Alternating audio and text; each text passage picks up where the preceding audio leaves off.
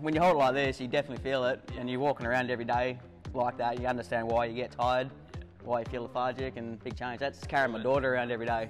I, uh, my name's Sean. I've um, been at M Theory now for about uh, eight months. Um, yeah, loving it. Where was I in life before I started with M Theory? Um, drinking, going to the wet mess every night at work, uh, eat, yeah, eating rubbish food. Um, just you know, hit, hit a spot in my life where I wasn't happy anymore, and uh, talking to one of my workmates who was actually coming here, and he suggested maybe giving it a crack, so I did.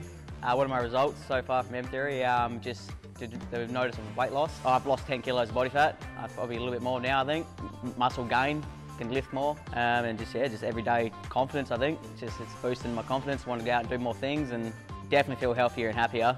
Just with the amount of energy I notice I got throughout the day now. Got a three-year-old daughter, which you know I can actually chase her around now and not feel lethargic and groggy. And uh, how has M-Theory changed my life? Um, it's changed it quite a bit actually. Um, again, I've noticed I don't drink barely any beers anymore.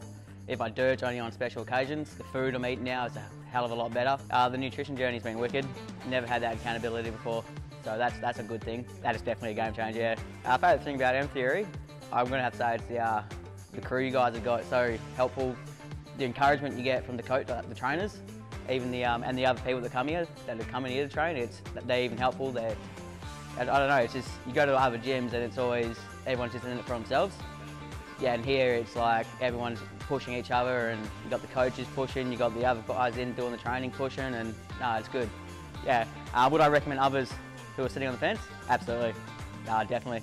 Um, in one to two words, how can I best describe M-Theory? Um, no, it's just flat out good here, like, you know, flat out good.